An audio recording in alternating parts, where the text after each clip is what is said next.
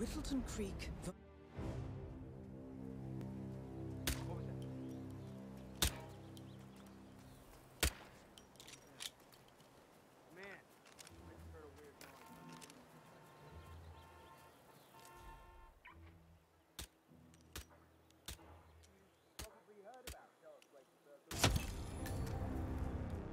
Finally, an end to Jaina. Death feels like an easy way out for a man like him.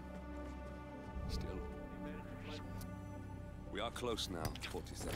Someone help me out here, I need And that is Nolan Cassidy taken care of. Both targets are confirmed killed. Hmm. A letter from Janus to someone called Zoe. It looks like a draft, and is full of explicit descriptions of how unhappy Janus is with Zoe and her sister, having been appointed chairwomen of the Ark Society. before. This is a good find, 47. 10 секунд. Да, Janus is apparently engaged in a civil lawsuit with another resident of Whittleton Creek. James Batty, the plaintiff, wants Janus to stop his annual landing of a helicopter near the local creek. Batty claims it interrupts the nesting birds and a species of frog that has been declared endangered. Must be a very important trip given his poor health.